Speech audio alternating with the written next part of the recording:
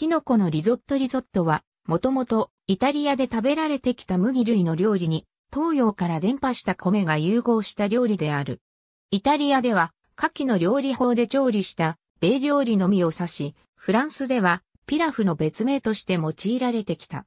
イタリアは中世からポー川を利用して水筒栽培に成功した地域であり、スペインと並んで米を生産するヨーロッパで数少ない国の一つである。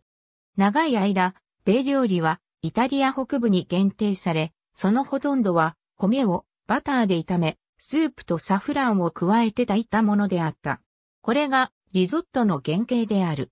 第二次世界大戦後はイタリア全土に普及し、今日のイタリアではどこのレストランのメニューにも登場する。深鍋にオリーブオイルを熱し、ニンニク、ポロネギを炒める。オイルに香りが移ったら生米を入れてオイルをなじませる。オイルが馴染んできたら白ワインを入れてアルコール分を蒸発させる。米の1.3倍ほどの分量の水か野菜の出汁を追加、あまりこまめにかき混ぜないように煮立てていく。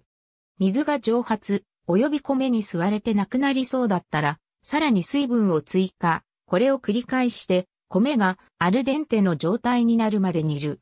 好きな食材を入れ、塩、胡椒、パルミジャーノレッジャーノなどで味を整え、少し火を通して出来上がり。バター、オリーブオイルなどで香り付けをしても良い。ありがとうございます。